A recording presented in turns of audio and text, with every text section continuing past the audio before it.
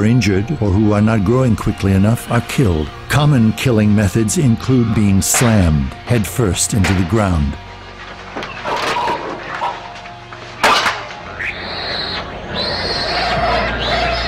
Once pigs have reached market weight, they are sent to slaughter. At the slaughterhouse, pigs are knocked in the head with a steel rod, hung upside down, and have their throats slit.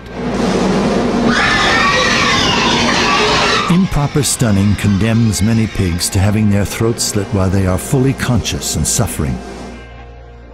If you are at all moved by this film, please do your part. Make a commitment today to explore a vegan diet. For delicious vegan recipes, nutritional information, and tips on making the transition to a plant based diet, please visit chooseveg.com.